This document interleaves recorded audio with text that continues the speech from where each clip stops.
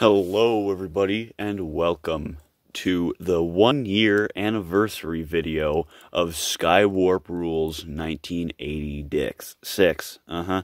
Um, I started this channel uh, March 14th of 2020, and first video was March 14th of 2020.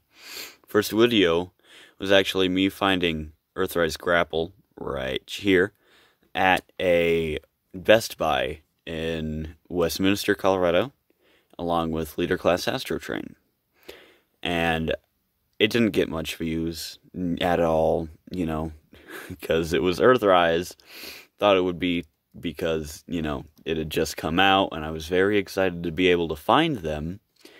And, you know, eh, these figures are so nostalgic for me. These are very selected figures, as you can tell.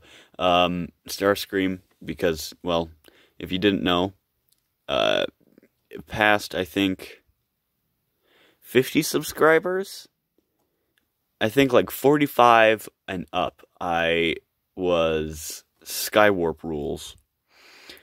But at the beginning, I was Starscream Rules. Starscream Rules 1984. So that was that was a point and people are like, "Why did you change your name? I like Starscream rules better." Uh, honestly, without the name change, I don't think I would be that popular. I don't think I would beat this, you know. I don't think I would be 300 and almost 350 subscribers in. And I'm just so blown away by everything that's happened this year. I've been on record saying that personally, 20 or this whole year that I've been on YouTube, this quarantine year, uh, has been good and bad for me personally.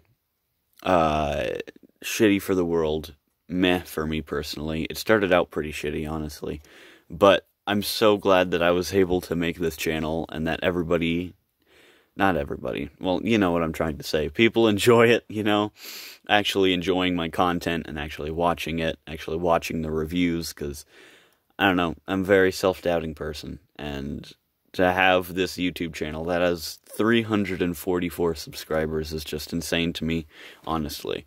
Uh, obviously, through this quarantine, I want to give a big shout out to that nerd Isaac. Uh, he is easily my best friend, and you know, I don't know where I'd be without him, to be honest. He's very, very good guy. I recommend you go check out his channel, too. I'll probably leave a link in the description. Um, another person I want to give a big shout out to is Dem Turtle Meme. Uh, he is another person who helped me through a lot. So go check out him. Doesn't make that many videos, but he's starting to, believe me. And uh, I want to give another shout out to let's see. Grimlock Studios. Really nice guy. Of course, we've butted heads. Everybody does. But he's a really nice guy. I was a voice actor for him several, several times. And, uh, yeah, I'm very elated to be in the new projects that he's working on.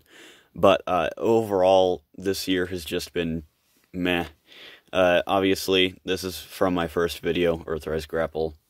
Shockwave, first review, Grimlock last review. No, that would be Logan, but I don't know. I just re- I had Grimlock still on my set, so uh, Snake Eyes, a video that I didn't think would do pretty well, and it didn't do very well, but I still liked the video anyway.